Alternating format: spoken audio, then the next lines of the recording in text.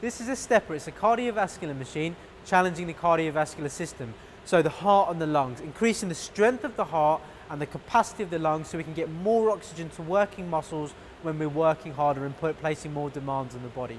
Now, a couple of checkpoints. We want to see Stuart in this good position. So he puts his whole foot onto the step, still facing forward, knees over the second toe, and then we can get on to the second one. Steppers are uncommonly used in a terrible way. So today we're going to show you the right way to use this. Now let's have a look what's going on. Knees are over the second toe, the feet are facing forward. Now if you have a look, Stuart's got a really good step going through now. He's got full range of movement. Brilliant. So we've got good flexion and extension through the knee, good flexion and extension to the hips through here. Nice parallel uh, hips, neutral spine, ears in line with the shoulders, cores drawn in.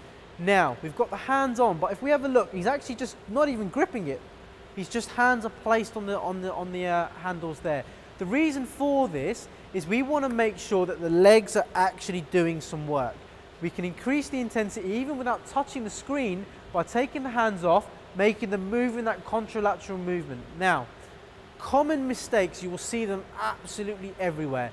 You will see members hanging on to the top of the, the stepper. They will literally hold body weight on and if you have a look at the legs, they're doing no work whatsoever because all the weight is braced up here. The legs, you may as well lay in the air and cycle your legs around.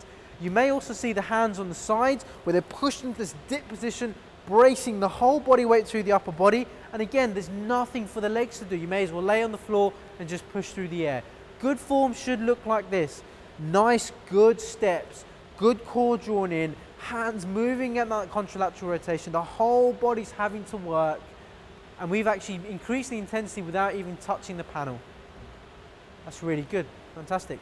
Again, teaching point, if I wanted to talk to Stuart, I'd talk to him face on through here, and then I could step off to 45 degrees.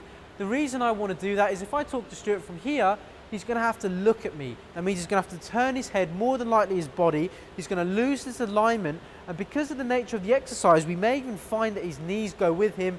This could be quite dangerous. So we talk from the front position where he can maintain neutral spine. We can have good eye contact. I can step off to 45 degrees where we can still continue a conversation, but it's non-intrusive and it means there's no deviations to his body alignment. Brilliant, just relax there. That's the stepper.